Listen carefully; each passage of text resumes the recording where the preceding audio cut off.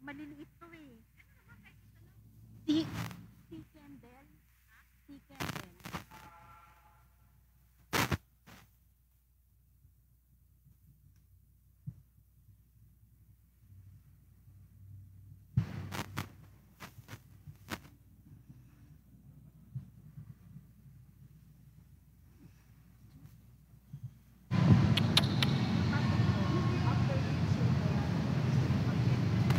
Thank you.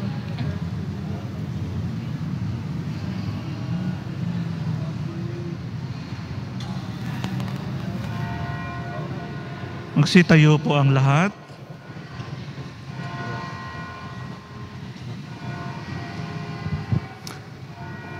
Sisimulan po natin ngayon ang pagdiriwang ng kapistahan ng pagdadala kay Jesus na Panginoon sa templo at ang pagabasbas ng inyong mga kandila.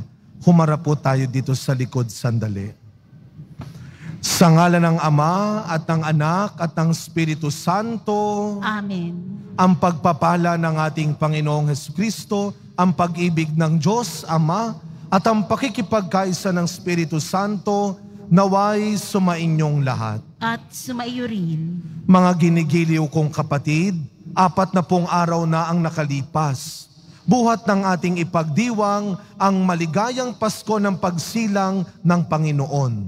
Ngayon naman, ang dakilang araw ng pagdadala kay Jesus sa templo, sa hayagang pagtupad sa utos ng Diyos na itinadhana ni Moises, ang totoong naganap ay ang pakikipagtagpo ng Mesiyas sa mga nananabik na tao para sa kanyang pagdating. Sa pag-akit ng Espiritu Santo, ang mga banal na matatanda ay naparoon sa templo. Sa tulong ng tanglaw ng Espiritu Santo, kanilang nakilala ang Panginoon at masaya nilang tinanggap siya. Kaya naman, tayo ngayon naririto at nagtitipon bilang tugon sa pag-akit ng Espiritu Santo. Tayo'y magpuprosisyon patungo sa tahanan ng Diyos bilang pagsalubong sa Mesiyas. Makaharap at makilala nawa natin siya ngayon sa pagsasalo sa pinaghahati-hating tinapay hanggang sa kanyang maningning na pagpapakita. Babasbasan ko po ang inyong mga kandila, hawakan po ninyo. Manalangin tayo. Ama naming makapangyarihan, ikaw ang pinanggagalingan ng lahat ng kaliwanagan. Ang liwanag na tatanglaw sa lahat ng mga bansa ay iyong ipinakita ngayon sa banal na si Simeon. Gawin mong banal at basbasan ang mga kandilang ito na hawak-hawak ng mga bumubuo sa iyong sambayanan. Sa aming pagdadala nito, kami naway marapatin mong umawit ng pagpupuri para sambahin ang ngalan mo sa aming paglakad sa landas ng iyong kabutihan. Kami naway loobin mong sumapit sa di magmamaliw mong liwanag. Si Yesu Kristo na aming Panginoon, magpasawalang hanggan. Amen.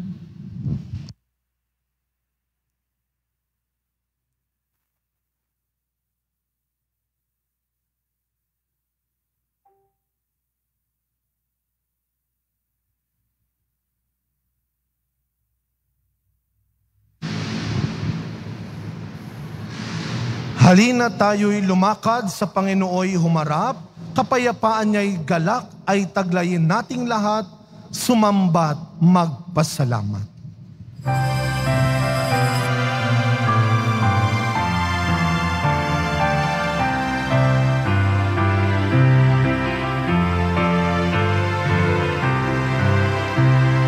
Si Jesu Kristo ang ilaw na sa lahat ay tatanglaw Nagbibigay karangalan sa unang bayang inirang ng po nating ay kapal.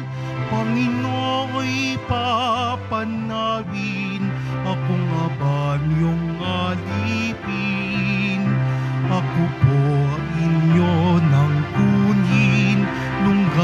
gati ko'y natupad din ayon sa sabi nyo sa akin.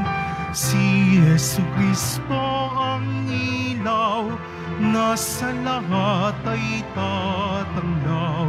Nagbibigay karangalan sa unang bayang inirang ng po nating may kapal. Papuri sa Diyos sa kaitasan.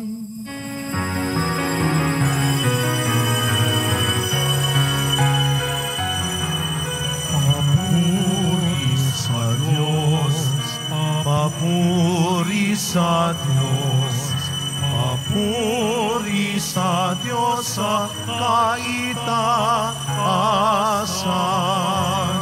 At sa lupa'y kapayapaan At sa lupa'y kapayapaan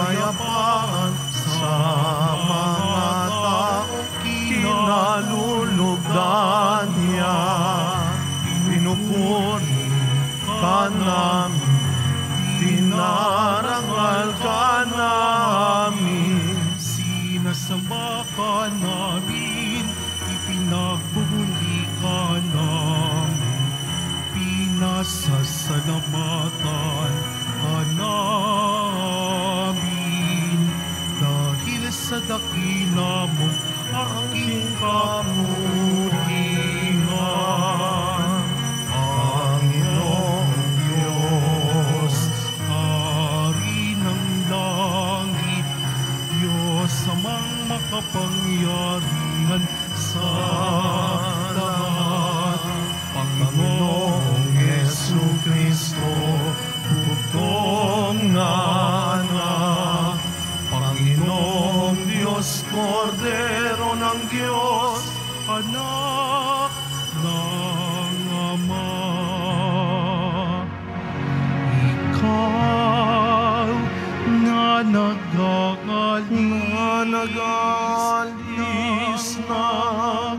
kasalanan ng sanlibutan.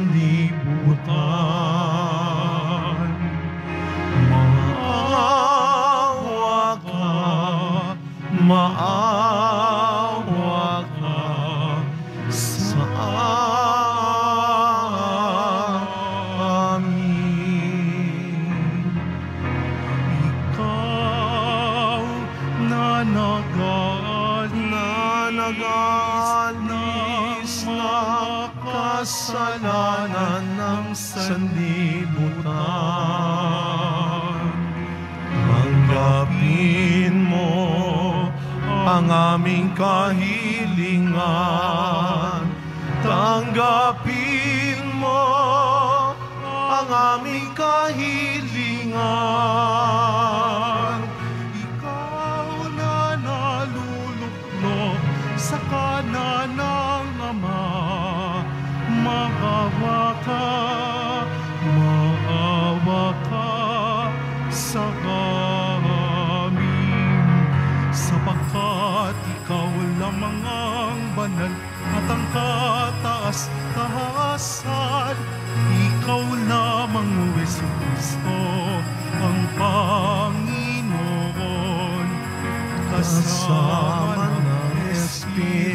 Santo sa kadakilaan.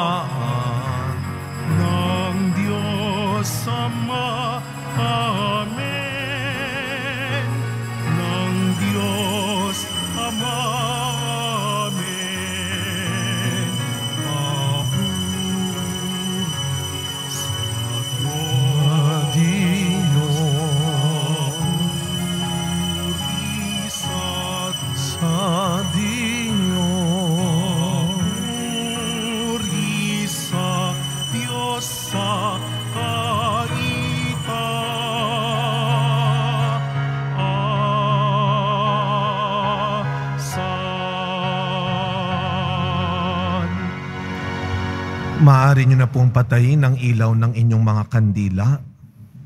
Manalangin po tayo. Ama naming makapangyarihan, iniluluhog namin sa iyong dakilang kamahalan na katulad ng iyong anak na naging hindi naiiba sa mga tao at ngayon dinala sa iyong banal na templo.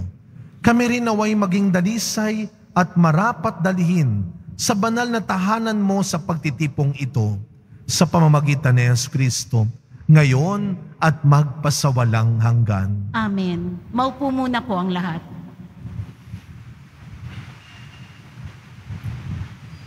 Pagbasa mula sa aklat ni Propeta Malakiyas.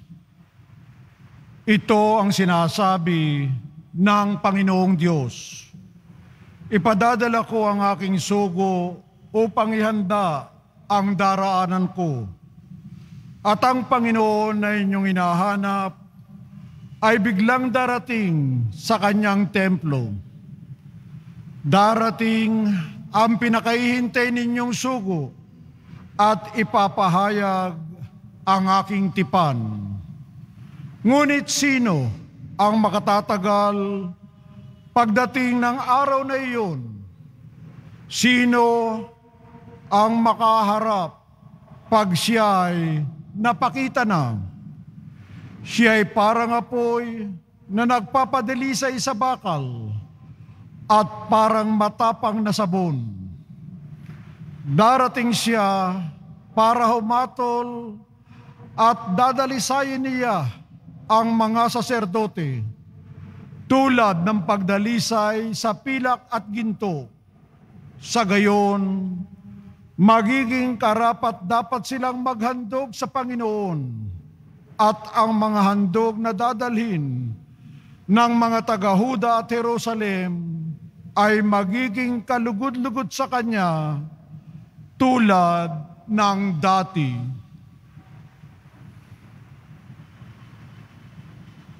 Ang salita ng Diyos. Salamat sa Diyos. Diyos na makapangyarihay, dakilang hari kailanman. Diyos na makapangyarihay, dakilang hain kailanman. Ang pintuang luma ay buksan ng lubos.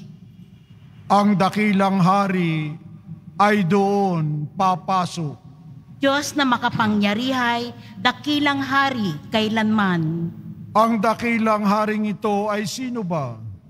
Siya ay ang poon, dakilang talaga. Saan mang labanan, tagumpay ay kanya. Diyos na makapangyarihay, dakilang hari kailanman. Ang pintuang luma ay buksan ng lubos.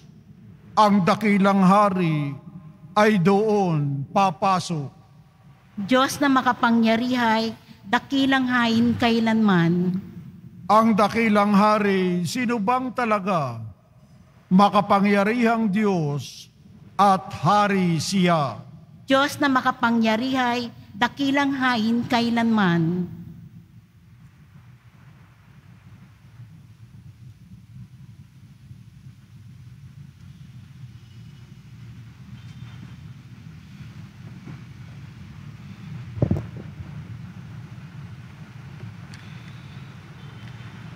Pagbasa mula sa sulat sa mga Hebreyo. Yamang ang mga anak na tinuturing ng Diyos ay tao, naging tao rin si Jesus. Tulad nila, may laman at dugo. Ginawa niya ito upang sa pamamagitan ng kanyang kamatayan ay maigupo niya ang diablo na siyang may kapangyarihan sa kamatayan. Sa gayon, pinalaya niya ang lahat ng naging alipin habang panahon dahil sa kanilang takot sa kamatayan. Hindi ang mga anghel ang kanyang tinutulungan, kundi ang lahi ni Abraham. Kaya't kinailangang matulad siya sa kanyang mga kapatid sa lahat ng paraan. Sa gayon, siya'y naging isang dakilang saserdote, mahabagin at tapat, naglilingkod sa Diyos at naghahandog ng hain sa ikapagpapatawad ng mga kasalanan ng tao sapagkat siya may tinukso at nagbata. Kaya ngayoy matutulungan niya ang mga tinutukso. Ang salita ng Diyos. Salamat sa Diyos. Magsitayo po ang lahat.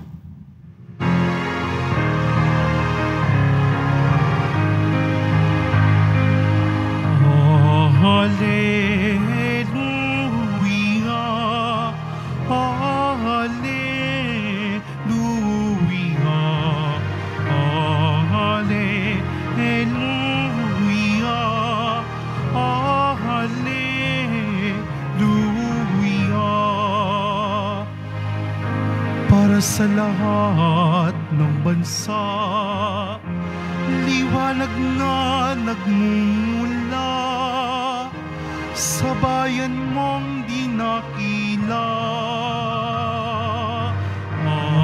Hallelujah. Hallelujah.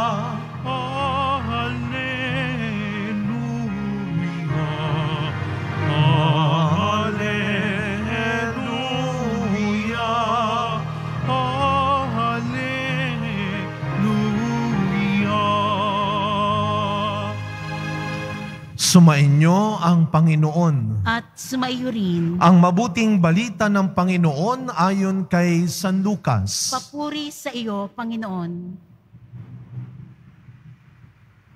Nang dumating ang araw ng paglilinis sa kanila ayon sa kautusan ni Moises, si Jesus ay dinala ng kanyang mga magulang sa Jerusalem upang iharap sa Panginoon.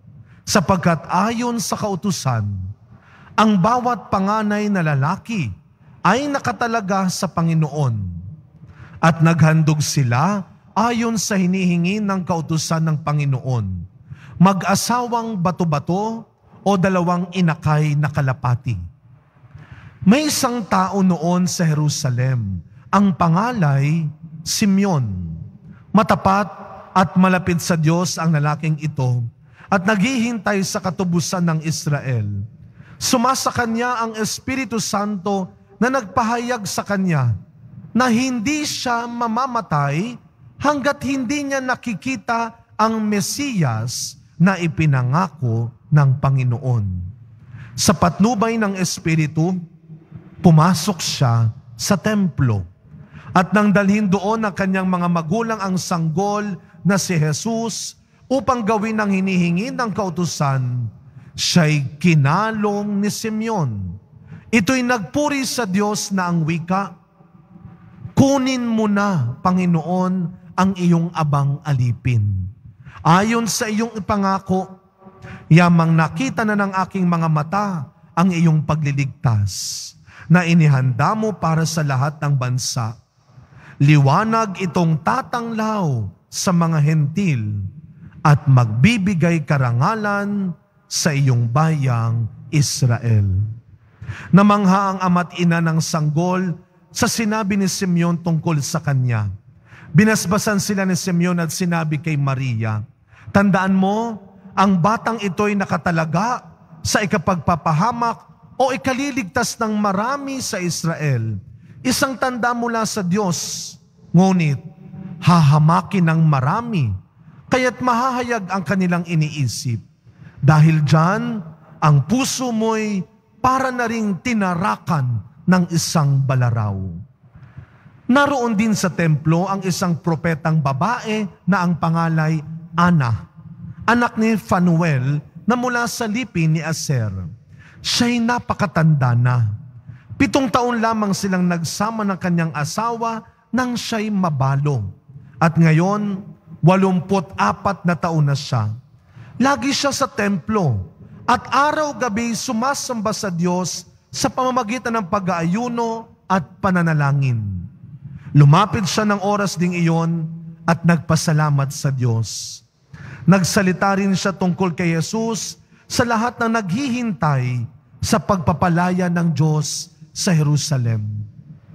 Nang maisagawa nila ang lahat ng bagay ayon sa kautusan, bumalik na sila sa kanilang bayan sa Nazaret, Galilea. Ang batay lumaking malak- malakas, marunong, at kalugod-lugod sa paningin ng Diyos. Mga kapatid, ang mabuting balita ng Panginoon. Pinupuri ka namin, Panginoong Heso Kristo. Maupo muna po ang lahat. Good morning po sa inyong lahat. Batiin natin yung mga katabi at malapit sa ating good morning. Tayo po ay nasa unang Webes, unang linggo ng buwan ng Pebrero at ngayon po mga kapatid, sinimulan natin ang pagdiriwang natin ng banal na misa sa pamamagitan ng pagbabasbas ng inyong mga kandila. Ngayon po ay ang kapistahan ng pagdadala kay Jesus na Panginoon natin sa templo o mas kilala nating Candelaria. Bakit ba? Ano ang pagkakatulad o ang relasyon ng presentation of the Lord sa kapistahan ng kandila? Mga kapatid, yung ginawa natin kaninang prosesyon, daladala ang kandila ay ang paggunita natin sa pagdating ni Kristo ang liwanag ng buhay ng bawat tao. Kaya palakpakan, pasalamatan natin ang ating pong Jesus Nazareno, malakas sa palakpak para sa ating liwanag ng buhay. Alam nyo, napakahalaga po ng araw na ito, bukod sa presentation of the Lord, ito rin yung tinatawag nating katuparan ng pangako ng Diyos. Ang pagdating ng liwanag, tamang-tama, mukhang lahat naman tayo dito, nagkaroon tayo ng mga tinatawag nating dark moments. Yung mga sandali sa buhay natin na parang napakadilim. O baka may ilan sa ating nakakaranas ngayon yan kahit ang daming ilaw ng bahay ninyo. Parang ang dilim-dilim. Parang nasa dilim ka ngayon. Wala kang makitang magandang nangyayari. Wala kang makitang pag-asa. Wala kang makitang mabuti. Parang ang dilim-dilim ng buhay mo ngayon.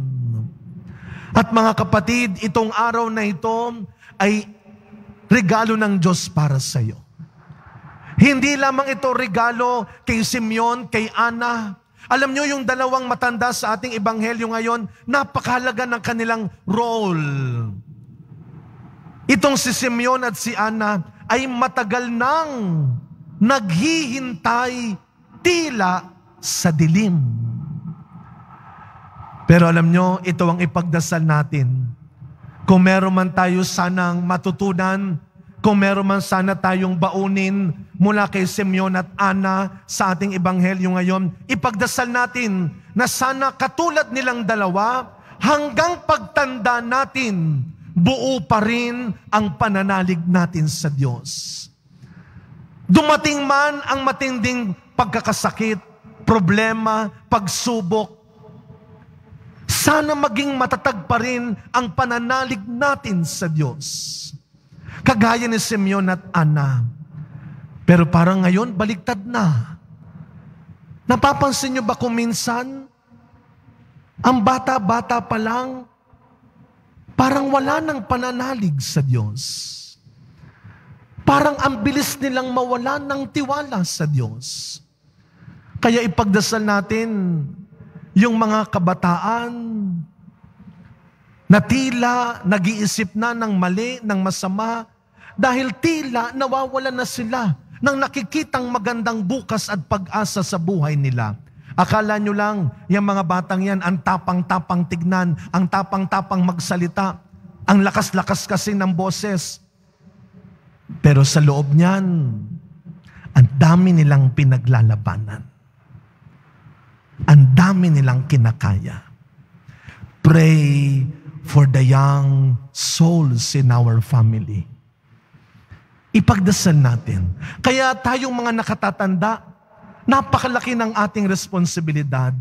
Meron tayong misyon, kagaya ni Simeon, kagaya ni Ana, na sa ating pagtanda, sana maging mabuting halimbawa tayo sa mga maliliit, hindi lang sa mga bata, sa mga kamag-anak, sa mga katrabaho, sa mga kaibigan natin, na tila napapagod na nagsasawa ng maghintay, maniwala at magtiwala. Sana maging halimbawa tayo sa kanila. Bigyan natin sila ng dahilan para maniwala pa rin at magtiwala pa rin at huwag natin silang turuan na lalong manghina, lalong mawalan ng gana. Kagaya ng ating ibanghelyo, maniwala tayo, magtiwala tayo. Araw-araw, dumarating ang Panginoon sa buhay natin. Araw-araw, kayang tuparin ng Panginoon ang pangako niya sa buhay natin. Si Kristo ang tunay na liwanag na siyang tatanglaw sa atin. Sabi nga sa ating ikalawang pagbasa, ipinakita sa atin ni Kristo ang daan. Kaya nga nung dumating si Kristo, siya ang pinakadakilang liwanag sa buhay ng tao. Siya ang ilaw na tatanglaw sa atin sa daan patungong kaligtasan. Kaya kapag medyo ang labo mo na namang mag-isip, hindi ka makapag-desisyon. Kaya kapag medyo nahihirapan kang pumili, magdesisyon sa buhay mo, pray. More prayer, more power. No prayer, no power. Sa bawat pagdarasal natin, pinag-aalab ni Kristo ang liwanag ng pananampalataya natin. Kaya nga, sabi ni Simeon, nung nakita na niya ang Panginoon, parang yung linya natin kuminsan, di ba? Anong sabi ni Simeon? Lord, kunin mo na ako. This is it. Eh tayo kuminsan, ginagawa nating biro. Kapag nakatikim ka ng masarap na pagkain, hmm, sarap, pwede na akong mamatay. Kapag napuntahan mo na yung matagal mo nang pinapangarap, nakapagbora ka na, Palawan, Batanes, hmm, pwede na akong mamatay. Eh bakit ganon? Bakit parang sa material na bagay lang natin gustong isuko ang buhay natin? Wag. Sa pagkapatuloy na minsan natin mga kapatid, tularan natin si Simeon, si Ana, at ang lahat ng mga naghintay noon at nagtiwala sa Panginoon. Katulad nila, sana tayo ngayon, isa lang ang bubuo, ang kukumpleto, ang tatapos sa buhay natin. Ang Panginoon lamang. Araw-araw, dalawang bagay ang ipagdasal natin. Una, Panginoon, huwag mong hayaang mamatay ang ilaw ng kandila ng aming pananalig sa iyo. Sa mga pagkakataong darating ang pagsubok, ang paghihirap, ang pagkakasakit, liwanagan mo ang aming pag-iisip, ang aming kalooban, ang aming buhay. At pangalawa, araw-araw, huwag mong ipagdamot ang liwanag na binigay ni Kristo sa iyo. Araw-araw, magliwanag ka, hindi sa kayamanan ng mundo, kundi sa kabutihan ng iyong pagkatao. Amen.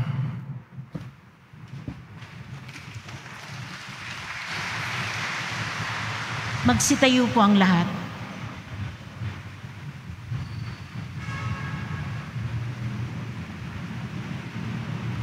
Minamahal kong mga kapatid, nagniningning si Kristo bilang liwanag ng kaligtasan sa lahat ng bansa at kalwalhatian ng kanyang bayan.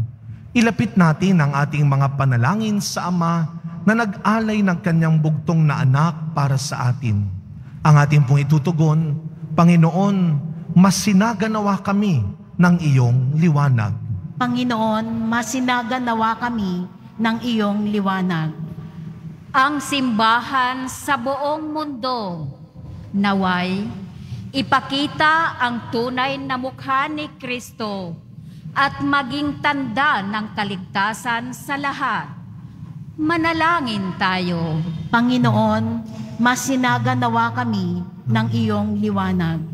Ang mga may kapangyarihan, naway, maglingkod sa lipunan ng may pag-aalay ng sarili, magkaroon ng tapang na magpahayag at kumilos sa ngalan ng katotohanan at katarungan at maging saksi sa pag-ibig ni Kristo. Manalangin tayo. Panginoon, masinaga nawa kami ng iyong liwanag. Tayo naway mabigyan ng sigla ng pagiging masunurin ng Birheng Maria at ni San Jose sa laging pagtupad sa mga kautusan ng simbahan. Manalangin tayo. Panginoon, masinaga nawa kami ng iyong liwanag. sa pamamagitan ng kanilang mga sariling halimbawa, mahikayat ng mga ama at ina ang kanilang mga anak sa pagsunod kay Kristo. Manalangin tayo.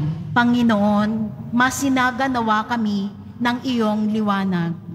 Ang mga yumaong mahal natin sa buhay, naway humayo sa kapayapaan ng Diyos at magdiwang ng walang katapusan sa piling ni Maria ng lahat ng mga santo. Manalangin tayo. Panginoon, masinaga nawa kami ng iyong liwanag. Tahimik nating ipagdasal ang ating iba pang personal na kahilingan at pangangailangan ng ating pamilya. Patuloy nating ipagdasal ang kapayapaan ng kaluluwa ni Carlito Arellano Sr., ang tatay ni Father Robert Arellano na kasama nating pari. Ipagdasal din natin ang kanilang pamilya sa mga sandaling ito ng kanilang kalungkutan at ipagdasal natin ang lahat ng mga kamag-anak, kaibigan at kakilala natin na dumadaan sa matinding pagsubok. Panginoon, nasa kadiliman kami kung wala ka. Magningning nawa sa amin ang iyong liwanag upang sa aming sariling paraan kami maging mga salamin ng iyong liwanag. Hinihiling namin ito sa pangalan ni Kristong aming Panginoon. Amen. Maupo muna po ang lahat.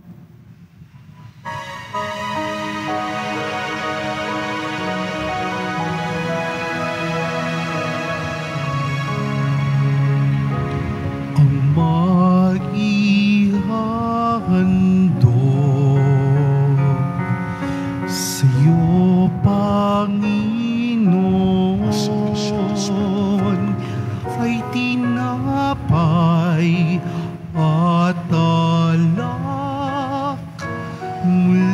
mula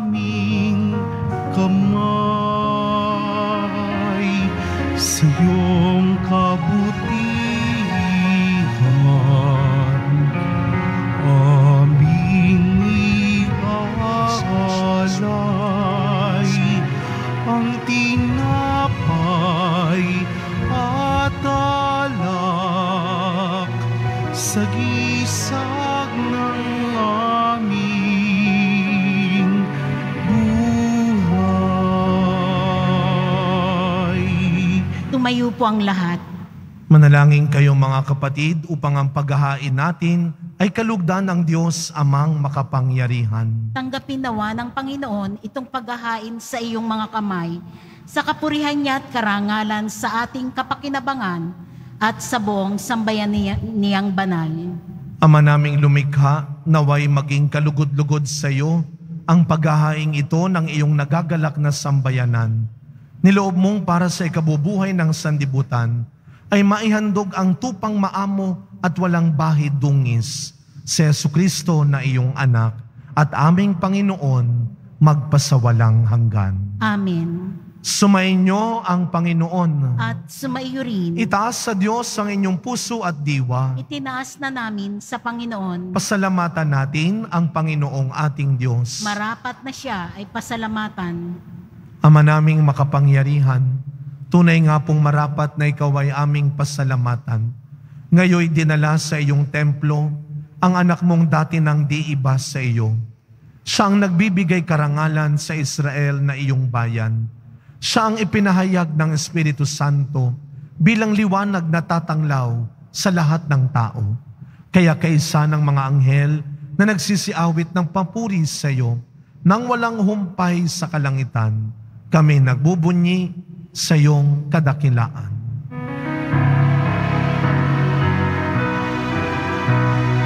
Banal ka poong may kapal, banal ang iyong pangalan, banal ang iyong kaharian. Langit lupa'y nagpupugay sa iyong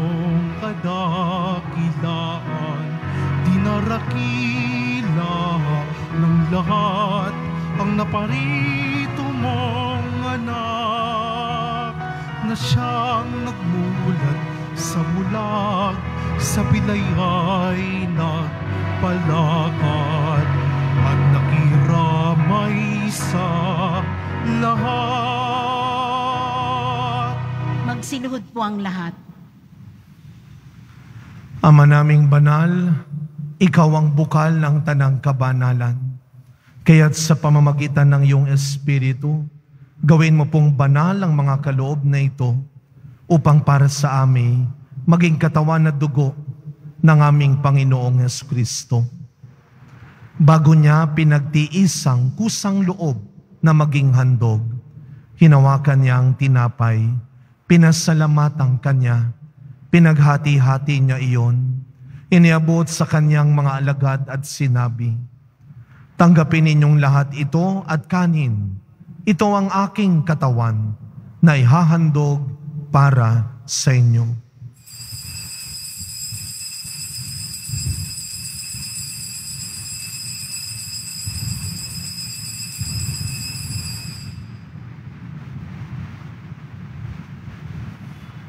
Gayun din naman nung matapos ang hapunan, hinawakan niya ang kalis, muli kanyang pinasalamatan.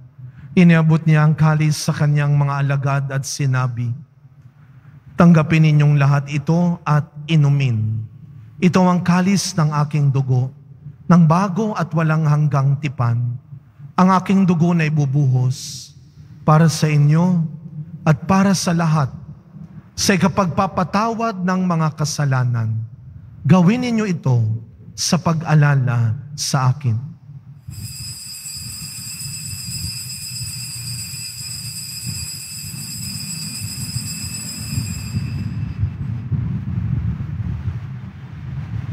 Magsitayo po ang lahat. Ang misteryo ng pananampalataya. Si Kristo'y namatay, si Kristo'y nabuhay, si Kristo'y babalik sa wakas ng panahon. Ama, ginagawa po namin ngayon ang pag-alala sa pagkamatay at muling pagkabuhay ng iyong anak. Kaya't inaalay po namin sa iyo ang tinapay na nagbibigay buhay at ang kalis na nagkakaloob ng kaligtasan. Kami po ay nagpapasalamat dahil kami iyong minarapat na tumayo sa harap mo para maglingkod sa iyo. Isinasamo namin kaming magsasalo-salo sa katawan na dugo ni Kristo ay mabuklod sa pagkakaisa sa pamamagitan ng Espiritu Santo.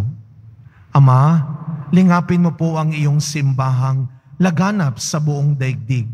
Puspusin mo po kami sa pag-ibig kay San Francisco na aming Santo Papa, ni Jose na aming Arsobispo at ng Tanang Kaparian. Alalahanin mo rin po si Carlito Arellano Sr. at ang mga kapatid naming nahimlay nang may pag-asang sila'y muling mabubuhay, gayon din ang lahat ng mga pumanaw. Tahimik nating ipagdasal ang mga kaluluwa ng mga yumao nating mahal sa buhay. Kawaan mo po sila at patuloyin sa iyong kaliwanagan. Kawaan mo at pagindapating kaming lahat na makasalo sa iyong buhay na walang wakas. Kaysa ng mahal na Birheng Maria na ina ng Diyos, ng kabiyak ng puso niyang si San Jose, kaysa ng mga apostol, San Juan Bautista, Padre Pio, Mother Teresa ng Calcutta, at ang lahat ng mga banal na namuhay dito sa daigdig ng kalugod-lugod sa iyo. May pagdiwang nawa namin ang pagpupuri sa ikararangal mo sa pamamagitan ng iyong anak na aming Panginoong Yesu Kristo. Sa pamamagitan ni Kristo, kasama niya at sa Kanya, ang lahat ng parangal at papuri ay sa iyo. Diyos samang makapangyarihan, kasama ng Espiritu Santo, magpasa walang hanggan. Amen.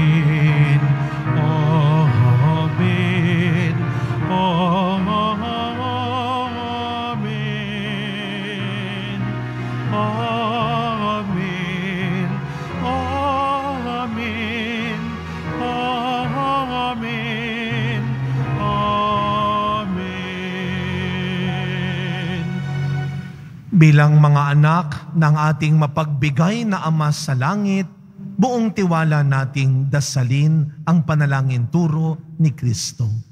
Ama namin, sumasalangit ka, Sambahin ang ngalan mo, mapasa amin ang kaharian mo, sundin ang loob mo dito sa lupa para ng sa langit. Bigyan mo kami ngayon ng aming kakanin sa araw-araw at patawarin mo kami sa aming mga sala para ng pagpapatawad namin sa nagkakasala sa amin. At huwag mo kaming ipahintulot sa tukso at adya mo kami sa lahat ng masama. Hinihiling po namin kami adya sa lahat ng masama, pagkalooban ng kapayapaan araw-araw, iligtas sa kasalanan at ilayo sa lahat ng kapahamakan, samantalang aming pinananabikan ang dakilang araw ng pagpapahayag ng tagapagligtas naming si Yesu Kristo. sapagkat iyo ang kaharian at ang kapangyarihan at ang kapurihan magpakailanman. Amen. Panginoong Hesus Kristo, sinabi mo sa iyong mga apostol, kapayapaan ang iniiwan ko sa inyo. Ang aking kapayapaan ang ibinibigay ko sa inyo. Tunghayan niyo po ang aming pananampalataya at wag ang marami at paulit-ulit naming pagkakasala. Pagkalooban po kami ng kapayapaan at pagkakaisa ayon sa iyong kalooban. Kasama ng Espiritu Santo, magpasawalang hanggan. Amen. Ang kapayapaan ng ating Panginoon ay laging sumainyong lahat. At sumaiyo rin. Araw-araw, huwag kang matakot at madamot na gumawa pa rin ng mabuti at maging mas mabuti. Magbigayan po tayo ngayon ng kapayapaan sa isa't isa. Peace be with you po.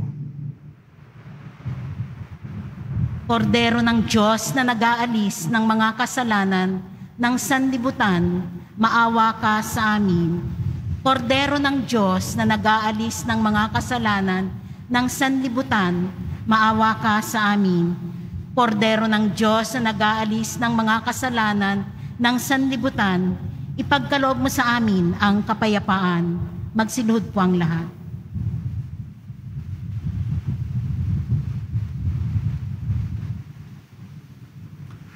Masdan ninyo ang ating poong Jesus Nazareno. Siya ang liwanag na magpapagaling sa iyo. Ang liwanag na magliligtas sa iyo. Ang kordero ng Diyos na nag-aalis ng mga kasalanan ng sandibutan, mapapalad po tayong lahat na inaanyayahan sa kanyang piging. Panginoon, hindi ako karapat-dapat na magpatuloy sa iyo, ngunit sa isang salita mo lamang ay gagaling na ako.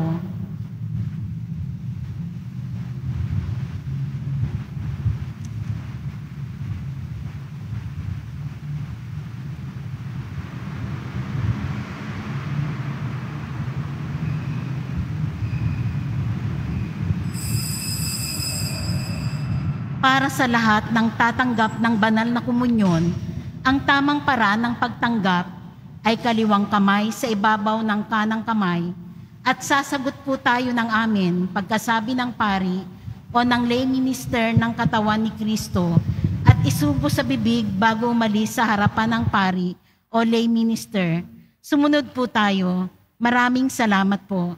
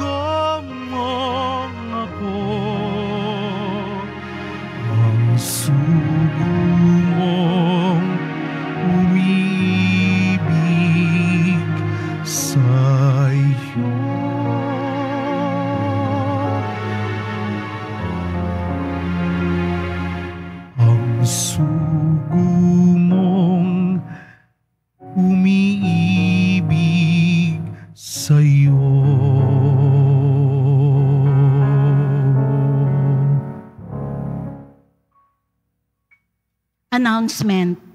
Ngayong Webes, February 2, 2023, ay ang kapistahan ng pagdadala kay Jesus sa templo o mas kilala rin sa tawag na Fiesta ng Candelaria. Ang araw na ito ay araw ng pagbabasbas ng mga kandila. Tanda na si Jesus na ating manunubos, ang siyang dakilang liwanag. Ang lahat ay inaanyayahan na magdala ng mga kandila at sa bawat misa na gaganapin ay magkakaroon ng pagbabasbas. Ang lahat po ay naanyayahan sa ating healing mass and service sa darating na February 2 ngayong Webes sa ganap na ika-anim ng gabi. Pinapaalalahanan pa rin po ang lahat na huwag maging kampante sa banta ng COVID-19. Bagkus dapat natin ipagpatuloy ang tamang pagsunod sa minimum public health standards sa ilalim ng Alert Level 1. Sa oras na makaramdam ng sintomas, agad na mag-isolate para sa dagdag na proteksyon laban sa banta ng COVID-19, agad-agaran na tayong magpabakuna at booster. Pagkatapos ng misa, wiwisikan po ang lahat ng banal na tubig. Pinakikiusapan ang lahat na manatili lamang muna sa inyong mga lugar o kinaupuan. Pagkatapos ng pagwiwisik, mangyari lamang na maupo muna ang lahat ng nasa loob ng simbahan at hintayin banggitin ang grupo ng inyong inuupuan bago po kayo lumabas ng simbahan. Tanging sa Quezon Boulevard lamang ang labasan ng lahat. Sumunod po tayo. Maraming salamat po sa inyong pagdalaw at pagsisimba sa Basilica Menor ng Itim na Nazareno. Magsitayo po ang lahat. Manalangin po tayo. Ama naming mapagmahal sa pagtanggap namin ng pakikinabang naway mapasa aming lubusan ng iyong kagandahang loob na kinamtang ganap ni Simeon nung matupad ang kanyang inaasam na wag munang mamatay hanggang hindi nakikita ang Mesiyas. Marapatin mo ring aming makamtan ang walang maliw na buhay sa pagtahak namin sa landas ng pakikipagtagpo sa aming Panginoong Heso Kristo, ngayon at magpasawalang hanggan. Amen. Ang ating simbahan ng Quiapo ay walang sawang magpapasalamat sa inyong patuloy na pagbibigay ng tulong, material, pinansyal man na donasyon. Ang inyo pong ginagawang kabutihan ay liwanag sa buhay ng iba't ibang kapatid nating natutulungan natin. Ang mga estudyanteng nangangailangan ng tulong, ang mga may sakit, ang mga bilanggo, ang mga biktima ng iba't ibang kalamidad, maging ang iba't ibang komunidad, kagaya ng mga katutubo. Nawa, patuloy kayong magliwanag bilang mga tunay na deboto ng poong Nazareno sa ginagawa ninyong kabutihan sa kapwa-tao. Ang Diyos na ang magbigay ng sapat at dapat na gantimpala ng inyong kabutihan. Sumainyo ang Panginoon. At sumaiyo rin, Yumuko po kayo habang ginagawad ang pagbabasbas. Mahal na poong Jesus Nazareno, inihayag mo sa pamamagitan ng krus ang walang maliw na pag-ibig ng Diyos sa sangkatauhan. Pakinggan mo ang kahilingan ng iyong angkan na nagsusumamo sa iyo. Makamtam nawa nila ang inyong katugunan at tanggapin ang kasagutan na may utang na loob na tinatanaw. Basbasan din po ninyo ang mga dala-dala nilang imahen at dasalan. Sa pamamagitan ng bendisyon na ito, naway maalaala nila ang mga pangako nila noon sa binyag na ikaw ay kanilang iibigin at paglilingkuran bilang Panginoon magpasawalang hanggan. Amen. Naway pagpalain at ingatan ang inyong pamilya ng ating mapagbigay na Diyos, Ama, Anak, at Espiritu Santo. Amen. Tapos na po ang ating pagdiriwang, humayo kayong taglay ang liwanag ng poong Jesus Nazareno. Salamat sa Diyos.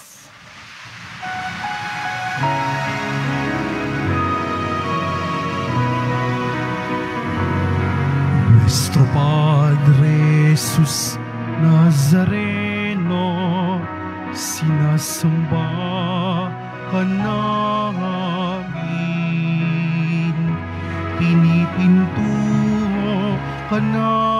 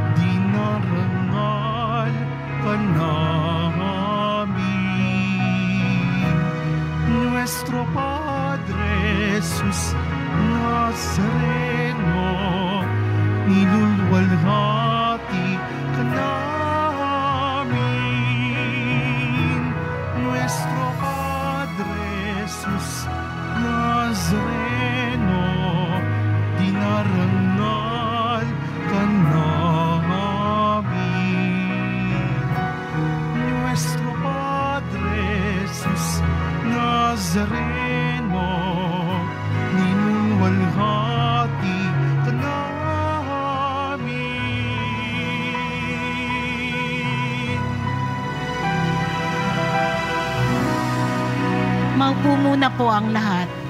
Maari nang lumabas ang mga nakatayo sa gilid at likod ng ating simbahan. Panatilihin